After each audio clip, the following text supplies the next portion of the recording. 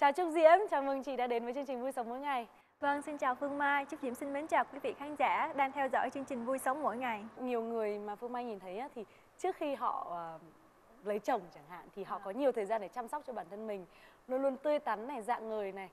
Nhưng mà đến khi bắt đầu có chồng vào rồi rồi nhiều công việc khác vào thậm chí là khi mà có bé bi rồi là y như rằng nhan sắc xuống hẳn. Không biết là Trúc Diễm làm như thế nào mà trông vẫn cứ xinh đẹp tươi tắn dạng người. À, chắc là tại vì chưa đến cái ngưỡng của baby cho nên là cũng chưa có biết là cái cái cái cơ thể của mình lúc đó sẽ thay đổi như thế nào. Nhưng mà Trúc Diễm nghĩ rằng nếu mà người phụ nữ không biết chăm sóc bản thân mình thì họ không yêu chính bản thân mình là một và thứ hai là họ không yêu chồng. Bởi vì uh, chồng của mình rất là thích ngắm vợ của mình đẹp mỗi ngày đó là cách một cách là mình giữ chồng. Cho nên Trúc Diễm dù bận như thế nào đi chăng nữa thì vẫn dành một chút thời gian để mà chăm sóc uh, cơ thể của mình chăm sóc tóc chăm sóc da cho thật là uh, tươi tắn. Thế mình thấy là thật sự Trúc Diễm dành rất là nhiều tâm huyết vào việc chăm sóc bản thân. Về chăm sóc da chẳng hạn thì ừ. thì Diễm chăm sóc da như thế nào Trúc Diễm thật ra là chăm sóc da cũng ờ, rất là đơn giản thôi. Thứ nhất là mình ăn vào như thế nào thì nó đôi lúc nó sẽ thể hiện ra bên ngoài như thế. Ừ. Nếu như mà Phương Mai uống nhiều cà phê, không uống nước lọc và ăn nhiều đồ nóng thì dĩ nhiên da của mình sẽ khác. Một người bạn của Phương Mai cũng là một bác sĩ da thì anh ấy nói rằng có dùng gì đi chăng nữa, một người phụ nữ mà muốn da đẹp thì cần phải bổ sung ẩm từ trong, có nghĩa là uống thật là nhiều nước. Ngoài ra thì Diễm vừa rồi có nhắc đến chuyện sử dụng những ờ, mặt nạ tự nhiên, tự làm tại nhà thì cụ thể là Diễm dùng những loại mặt nạ gì? Nước vo gạo. Nước vo gạo là nước gạo hả? À, nước vo à. gạo. À mình dùng à, mình để trong sau khi mình mình mình vo gạo bỏ cái nước đầu tiên đi vì thường cái nước đầu tiên nó sẽ hơi dơ à. diễm sẽ lấy khoảng cái nước thứ ba và để dành trong tủ lạnh khoảng lúc nào mình thích thì mình lấy mình mình massage lên mặt cái đó là dành để làm trắng da hay quá nhờ và nếu mà da của mình khô quá thì mình có thể dùng mặt nạ trái bơ mặt nạ trái bơ tức là chỉ cần xay nhuyễn bơ ra rồi đắp lên mặt là à, xong à? thường là bơ với lại sữa tươi không đường à. cho nó có cái độ mịn để làm cho cái cái chất của mình nó mịn hơn khi mà nó mình đắp lên mặt thì nó nó nó bám bám dính hơn vậy còn các ờ, nơi làm đẹp các spa thì sao ví dụ như bây giờ phương mai thấy rằng xu hướng chị em đến các spa để được uh, chăm sóc chuyên sâu cũng đang rất là trội các kỹ thuật mới hiện nay thì Diễm có laser dùng đấy không? hay là chạy ion điện ừ, hay là ừ. chích vitamin C ừ, đúng rồi. đó là những cái thứ mà gọi là bổ sung nhanh và trực tiếp như những cái laser nhẹ 3 phút 5 phút chỉ để tẩy hết những cái ví dụ như là make up của mình mà mình có tẩy trang thật nhưng ừ. mà cái bụi bẩn nó bám sâu ở phía dưới lỗ chân lông thì có những cái công nghệ nó đẩy, nó đẩy cái đó ra. Nó không hoàn nó không đụng chạm gì đến dao kéo cả. Nó chỉ là quan trọng là lúc giúp cái làn da của mình có cơ hội được thở và chóc những cái những cái chất bẩn ra chẳng hạn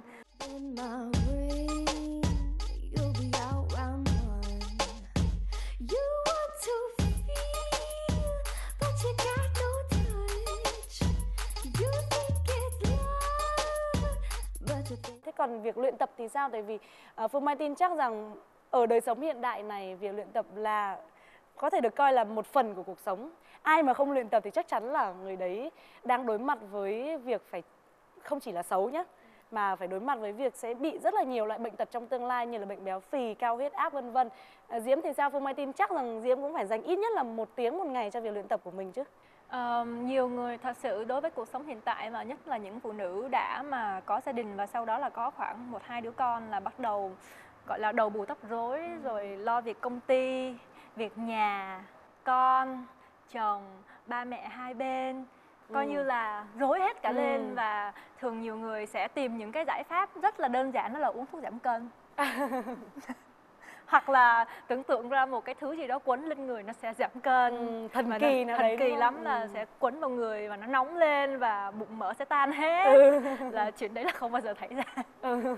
nhưng không tin vào cái chuyện đấy lắm nhưng mà nếu như mà một lời khuyên cho tất cả các chị em phụ nữ quá bận rộn thì ít nhất mình cũng chạy bộ trên máy khoảng 30 phút một ngày. Ừ. Cái này là Trúc Diễm được uh, một cái bác sĩ về thẩm mỹ tư vấn ừ. nói là nếu như mà không cần gì nhiều em chỉ muốn giữ cái cái độ form xăm cái mình form người của ừ. mình thôi. Mà mình không có thời gian để uh, hoặc là không có tiền để thuê huấn luyện viên riêng để tập hoặc là không có thời gian để tập một hai tiếng. Ừ. thì cái điều đơn giản nhất đó chính là chạy trên máy.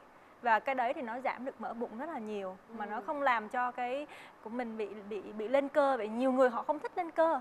Nhiều mình người mẫu thì nhiều khi ờ, thí dụ như phương mai thì thích có đường có, Có đường, cơ ừ. có xơ có muối. Có muối. Vâng có muối. Nhìn chắc nhìn Ừ. chắc nhìn rất là đẹp nhìn rất là khỏe khoắn.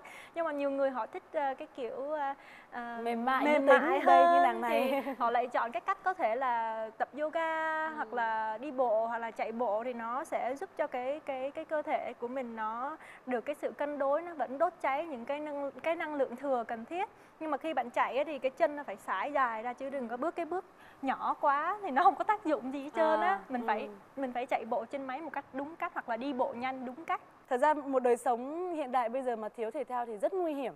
À, bản thân Phương Mai ừ, rất may mắn khi mà cũng được sinh ra trong một gia đình khá yêu thể thao. Cả ba lẫn mẹ Phương Mai đến bây giờ đã ngót nghét 60 tuổi rồi nhưng mà cả hai cụ vẫn rất chăm chỉ và ờ, cụ ông thì bây giờ nhìn vẫn trẻ trung và cụ bà thì nhờ tập yoga nên gương mặt luôn luôn sáng này, da căng và đặc biệt là cơ thể thì vô cùng dẻo dai. À, Phương Mai thì chưa được tập yoga nữa. Bởi vì Phương Mai thì thích tập những những môn thể thao ờ, nhìn vận động mạnh biết hơn. rồi. Đúng không ạ? Và đúng nói là lên cơ là Diễm đúng. Ừ, ví dụ như những cô gái năng động như Phương Mai thì thì có thể lựa chọn những bộ môn như là đấm bốc này hay là tập cơ bắp một chút với với những ờ, dụng cụ thể hình. Nhưng mà đương nhiên là nhiều cô gái giống như Trúc Diễm muốn giữ được hình thể mảnh mai của mình thì hoàn toàn có thể chạy bộ hay là đơn giản là làm những hoạt động khiến cho nhịp tim tăng cao hơn một chút so với bình thường thì sẽ có thể tiêu hao được năng lượng dư thừa và đương nhiên là tiêu hao được lượng mỡ mà mình không mong muốn. Bởi vì dù gì đi chăng nữa thì trên một con đường dài, chúng ta không chỉ là để đẹp hơn mà chúng ta luôn luôn cần phải khỏe mạnh để có thể sống lâu, đúng không ạ?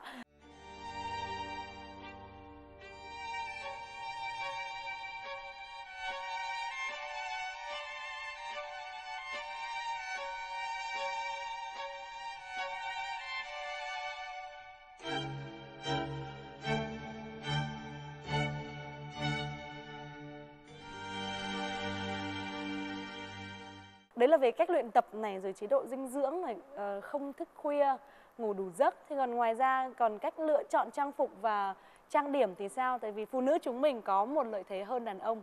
Đó là dù chúng ta có tỉnh dậy với đầu bù tóc rối hay là da mặt không được sáng sủa cho lắm thì nửa tiếng sau là hóa phép thành con tiên ngay. Trung Diễm thường chọn phong cách trang điểm như thế nào để mà mình luôn uh, nhìn có vẻ xinh đẹp một cách tự nhiên? Ờ, Trúc Diễm ờ, chọn cái phương pháp là càng ít trang điểm càng ít dày phấn càng tốt. Tại vì ờ, nhiều người nghĩ rằng gương mặt của mình có quá nhiều khuyết điểm và cố gắng dùng concealer foundation để che hết những cái đấy nhưng mà sau một cái ngày dài mình cứ đắp lên như vậy thì đến một lúc nào đó ờ, khi mình cười nhiều quá nó có thấy hai cái đường ngay đây. Hai đường nếp nhăn rồi rõ. hai cái đường ngay đây đấy thì uh, khi mà mình make up mình cũng phải chọn một cái cái ờ, loại uh, make up nó phù hợp với cái làn da của mình. Luôn luôn hiểu cơ thể của mình là một cái điều rất là quan trọng hiểu cái vóc dáng của mình để có thể uh, chọn một cái trang phục che đi những khuyết điểm và tôn lên những cái ưu điểm của mình. Hoặc là ờ, bây giờ thì nó có rất là nhiều những cái loại ờ, phấn nền da khác nhau nếu như mà không phải ờ, đi event chụp hình buổi tối hoặc là lên sân khấu biểu diễn thì Ừ. chú Diễm là nếu mà không cần thiết là hoàn toàn để mặt mộc và chỉ đánh kem chống nắng khi ra đường thôi. là một người nổi tiếng mà Diễm cũng dám để mặt mộc khi ra đường Đấy là một 10 sự năm rồi lĩnh. Phương Mai lúc nào Thế cũng à? thế. ừ. nhưng mà ờ, Diễm không sợ người ta nhìn mình rồi bảo "Ơ, sao cô này trên hình rõ xinh mà ở ngoài trông khác hẳn hay là ý Diễm là ở ngoài mặt mộc của Diễm cũng xinh như trong hình Thì mình phải tự tin chút xíu chứ. Nhiều khi ờ, để mặt mộc như vậy cũng nghĩ là không biết khán giả có nhận ra mình hay không. ừ. Nhưng mà đi vòng vòng vẫn được nhận ra như thường. Thế là cũng hên rồi đấy. tức là nhìn không khác nhau lắm đúng không Ờ, không khác nhau lắm hoặc là nếu như hôm đó mà mình cảm thấy mệt mỏi quá thì nhiều người chọn cách rất đơn giản đeo mắt kính. Để mắt kiếng đeo mắt kính xong không ai không ai thấy được đôi mắt mệt mỏi đấy đâu. Thật ra với chị em phụ nữ bình thường thì họ họ không có công việc như chúng mình. Họ làm công việc văn phòng không cần phải lên hình quá nhiều. Nhưng mà việc trang điểm vẫn là vô cùng quan trọng tại vì trang điểm là cách để mà họ thể hiện sự tôn trọng với đồng nghiệp với bạn bè của mình khi mà ra ngoài. Chị em chúng ta hoàn toàn có thể lựa chọn việc sử dụng những cái lớp phấn nền mỏng thôi tại vì mình vẫn cần phải tôn trọng vẻ đẹp của cá nhân mình đúng không mà ví dụ da mình là nâu sẵn thì tại sao mình cố gắng làm cho nó trắng da?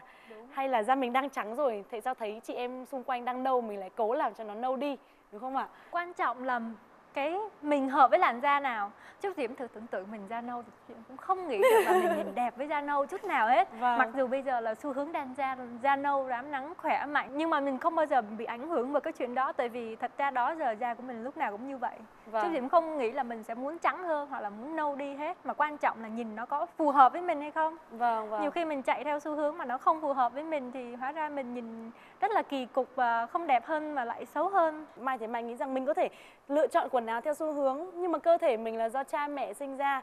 Cha mẹ đâu có lựa chọn xu hướng cho mình ngay từ lúc mình sinh ra đâu. Mà chẳng lẽ mình cứ chạy theo người này, chạy theo người kia thì cuối cùng cơ thể của mình thành cái gì, đúng không ạ?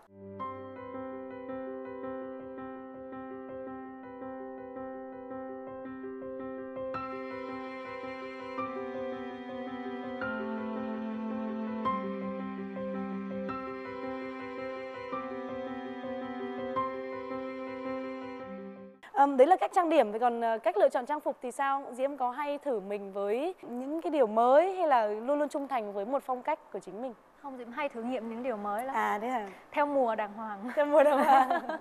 Tại vì Diễm nghĩ rằng uh, phụ nữ có một cái quyền lợi mà đàn ông không có được có nghĩa là được trưng diện. Tại vì quần áo thì các nhà thiết kế luôn luôn cho ra những cái collection theo mùa. Ừ. à, ví dụ như mùa hè thì có cảm hứng rất là hoang dã hơn một chút ừ. à, bohemian một chút rồi mùa thu thì nó dịu dàng hơn nó lãng mạn hơn. Hoặc là mùa đông thì à, những cái đôi môi được đánh đậm hơn nhìn nó sắc sảo và nó cuốn hút hơn. Hoặc là mùa xuân thì nhìn nó nhẹ nhàng trong trẻo.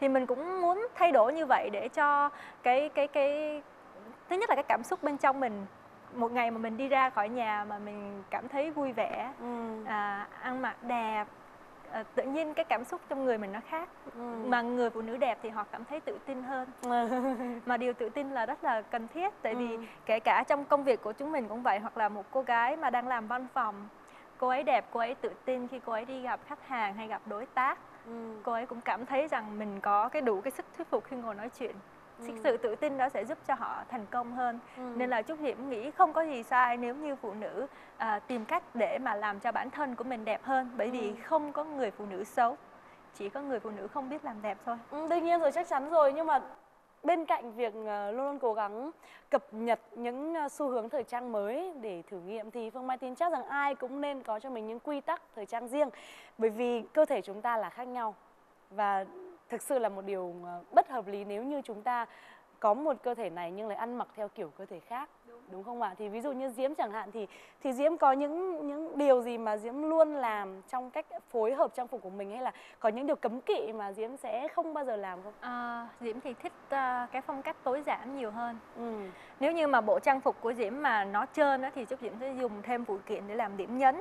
Nhưng mà nếu mà bộ trang phục của diễm nó đã có rất là nhiều những cái chi tiết chi tiết điểm nhấn rồi thì chúc diễm sẽ không đeo trang trang sức Ừ, ừ, để cho nó có sự cân bằng lại nếu không thì nhìn vào nó sẽ rất là rối mắt. Nhiều khi một bộ trang phục và à, mình mặc á, thì có thể một một đeo một đội đội một cái mũ nào đấy khi ra đường thì nó cũng đã làm bản thân mình khác rồi hoặc là khoác một cái ghi lê vào thì bộ trang phục nó lại thay đổi. Ừ. đi một đôi dép cao khác với lại đi một đôi dép thấp.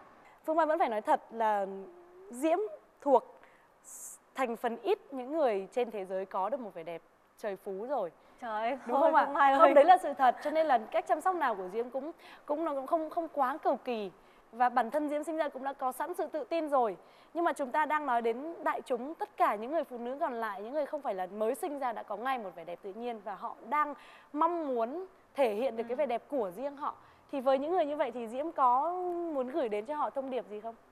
Chúc Diễm cũng đã từng trải qua cái vị trí của các bạn à, Trúc Diễm cũng từng rất là thiếu tự tin về cái chiều cao của mình, về cái cân nặng của mình. Trúc Diễm chịu khó tham khảo nhiều các tạp chí về thời trang, tạp chí về sức khỏe, đọc nhiều hơn, à, xem chú ý nhiều hơn những cái phương pháp và sàng lọc ra những cái phương pháp phù hợp với bản thân mình. Đó là một cái cách để mà giúp cho bản thân mình có thể uh, bắt kịp với xu hướng hơn và hiểu hơn về à, những cái cách làm đẹp khác nhau. Còn nếu mà nói về những khuyết điểm trên gương mặt của mình thì luôn luôn có những kiểu tóc hoặc là make up để có thể che giấu bớt. À, Trúc Diễm thì không cổ suý cho việc phẫu thuật thẩm mỹ.